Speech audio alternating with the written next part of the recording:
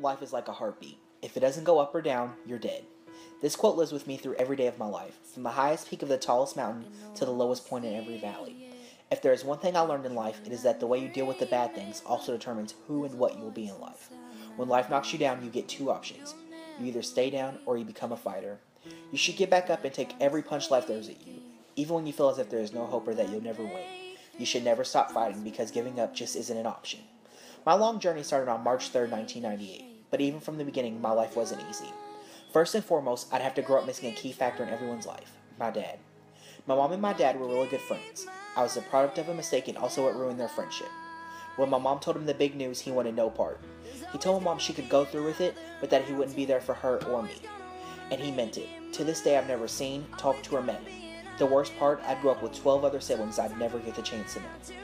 While dealing with my absent father, my family also had another struggle to deal with.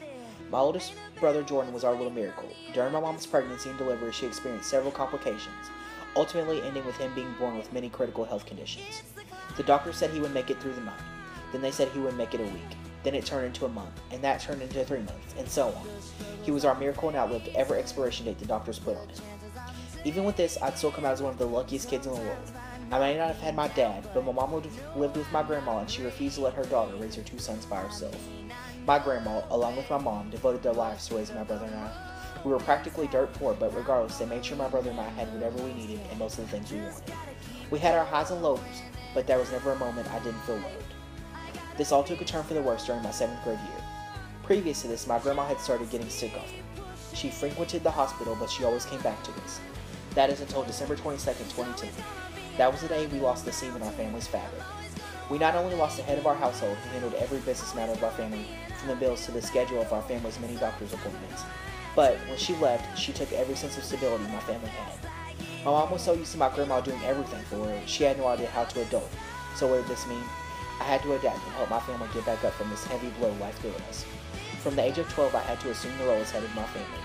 I had to remind my mom to pay the bills, budget our now even lower family income, and I had to keep up with the many doctor's appointments. I even had to do things I didn't know my grandma did, like make sure my mom kept taking her bipolar and seizure medicine. But after a while, our family went back to the closest form of normal we would ever reach. I had to grow up very fast and take on adulthood well beyond my years, for the sake of my family.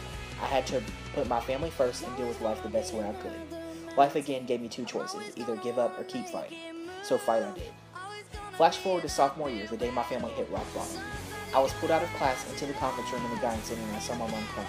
I instantly knew. My mom and I lost our miracle. My brother Jordan had finally taken his last breath. I took it pretty bad, but I instantly knew I had to suck it up and be there for my mom. I knew she'd be a wreck, but there is nothing that could ever prepare me for helping her through this.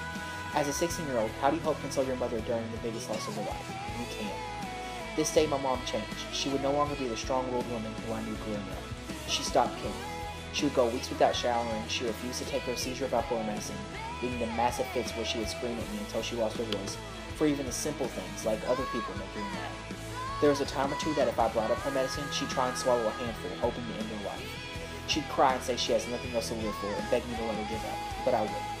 Ever since, I haven't only been fighting for myself, but for my mom as well. Picture me now.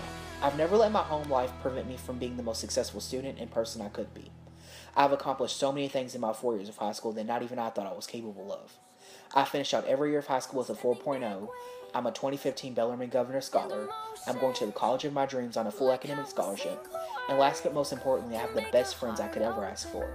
Without those friends and their families constantly pushing me and being there for me over the years, I know for sure I wouldn't be the man I am today.